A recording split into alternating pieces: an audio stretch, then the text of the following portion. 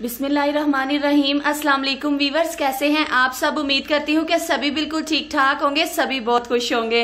आप देख रहे हैं सुबहान फ़ूड सीक्रेट्स यूट्यूब चैनल और मैं हूँ आयशा।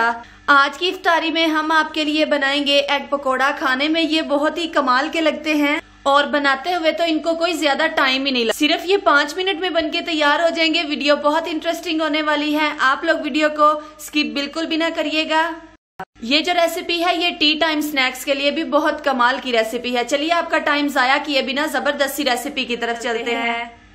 इस रेसिपी को बनाने के लिए हमें जो चीज़ें चाहिए होंगी वो सारी हमारे किचन में ही मौजूद होगी। सबसे पहले यहाँ पर हमने पाँच मीडियम साइज़ के आलू ले लिए हुए हैं और यहाँ पर इनको बॉईल कर लिया हुआ है। अब इसे हम ग्रेट कर लेते हैं।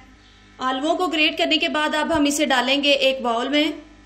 आप चाहें तो आप आलुओं को मैश भी कर सकते हैं, कोई मसला नहीं है। और साथ ही हम इसमें ऐड कर देंगे थ्री टेबल स्पून के बराबर बारीक चॉप की हुई ये हमारे पास प्याज है। इसका पानी अच्छे से हमने निकाल लिया हुआ है। और वन टेबल स्पून के बराबर ये हमारे पास बारीक चॉप की हुई हरी मिर्ची हैं। और ये जी हमारे पास टू टेबल स्पून के बराबर बारीक कट किया हुआ हरा धनिया है। और अब यहाँ पे बारी आती है इसमें कुछ स्पाइस ऐड करने की। यहाँ पर हाफ़ टी स्पून डालेंगे लाल मिर्च का पाउडर हाफ़ टी स्पून हल्दी हाफ़ टी स्पून जीरे का पाउडर हाफ़ टी स्पून नमक डालेंगे आप अपने टेस्ट के अकॉर्डिंग कम या ज़्यादा कर सकते हैं।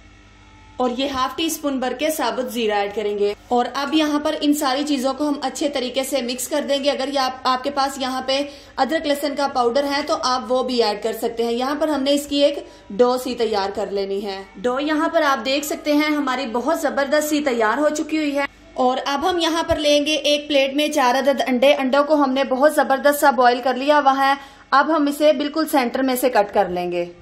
अंडों को कट कर लेने के बाद इसे हम साइड पे करेंगे और फिर से हम एक बॉल ले लेंगे। इसमें ऐड करेंगे हाफ़ कप के बराबर बेसन। बेसन को हमने अच्छे से छान लिया हुआ है और इसमें भी कुछ स्पाइसेस जाएँगे। थोड़े थोड़े से यहाँ पर वन फोर टी लाल मिर्च का पाउडर वन फोर टी नमक वन फोर टी ही हल्दी।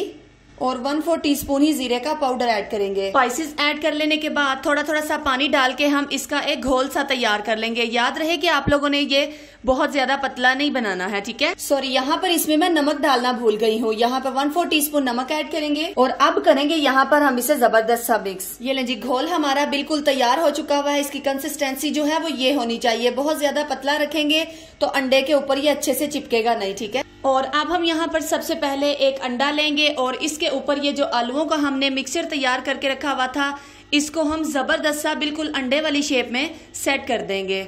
चारों साइड से आप लोग अच्छे से इसे प्रेस कर दीजिएगा। ये देखिए, बिल्कुल आप लोग इसी शेप में इसे सेट कर दीजिएगा। ये ले जी, यहाँ पर ये सारे बन के तैयार हो चुके हुए हैं। आइए, अब हम गैस की तरफ़ चलते हैं।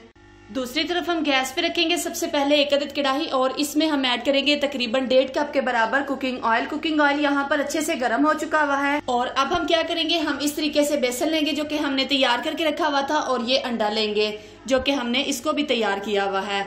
इसको हम अच्छे से इसके अंदर डिप करेंगे। अच्छे से बेसन लगाने के बाद आप लोग इस फोक की मदद से इसके कुकिंग ऑयल के अंदर फेंकते जाइएगा। ये ले जी, अंडों को ऐड कर लेने के बाद अब हम यहाँ पर इसके ऊपर तक कुकिंग ऑयल फेंकते जाएँगे ताकि ये ऊपर से भी थोड़े से सेट हो जाएँ। साइड को आप लोग चेंज करते रहिएगा ताकि हर साइड से हमें एक जैसा कलर मिल सके। और बहुत ज़्यादा डार्क कलर भी नहीं आपने इनको देना, ठीक है? यहाँ पर हो चुके हुए हैं तकरीबन पाँच से छह मिनट इसे मीडियम फ्लेम पे फ्राई करते हुए आप देख सकते हैं, माशाल्लाह से इसके ऊपर कितना खूबसूरत सा गोल्डन कलर आ चुका हुआ है। चलते हैं, अब हम फाइनल लुक की तरफ़। फाइनल लुक को मिस मत करिएगा, बहुत कमाल की होने वाली है फाइनल लुक एग पकौड़ा तैयार है। आप लोगों को इसको काट के दिखाती हूँ कि ये अंदर से कितने ज़बरदस्त, कितने टेस्टी और कितने शानदार से बन के तैयार हुए हैं। फाइनल को मिसमत करिएगा। तो अल्हम्दुलिल्लाह, आप देख सकते हैं एग पकोड़ा हमारा जो है, वो बन के तैयार हो चुका हुआ है। आप लोग इसे इफ्तारी में ज़रूर ट्राई करिएगा। ये बाहर से क्रिस्पी और अंदर से ये बहुत ही सॉफ्ट से बन के तैयार होते हैं। मुझे पूरी उम्मीद है, आपको आज की वीडियो बहुत ज़्यादा पसंद आई होगी। वीडियो अच्छी लगी हो तो इसे लाइक करिएगा। अगर आप मेरे चैनल सुबहान फ़ूड सीक्रेट पे नए आए हैं तो सब्सक्राइब किए बिना मत जाइएगा। नेक्स्ट वीडियो में मिलती हूँ। नेक्स्ट रेसिपी के साथ मिलती हूँ। दुआओं में याद रखिएगा। अल्लाह हाफिज।